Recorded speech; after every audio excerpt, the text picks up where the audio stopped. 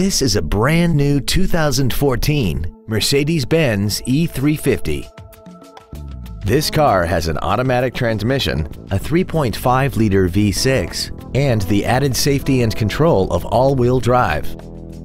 Its top features include a navigation system, Bluetooth mobile device connectivity, a rear-view camera, a sunroof, heated seats, speed-sensitive volume controls, blind spot assist, a low tire pressure indicator, an 8-speaker stereo system, 100% commercial-free Sirius satellite radio, a multi-link rear suspension, traction control and stability control systems, aluminum wheels, and lane keeping assist. The following features are also included. Memory settings for the driver's seat's positions so you can recall your favorite position with the push of one button.